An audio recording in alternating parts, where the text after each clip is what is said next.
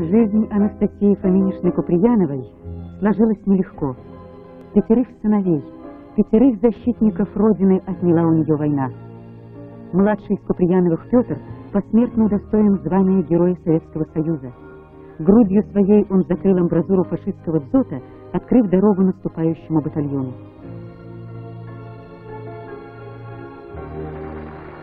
Как родную мать любят и почитают Анастасию Фоминишну жители белорусского города Жодино.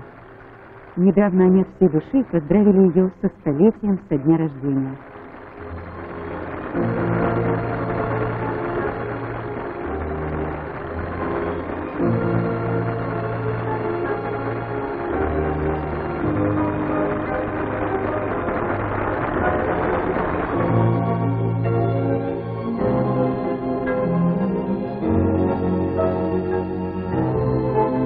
Скромная белорусская женщина, она воплощает в себе простоту и величие материнского сердца.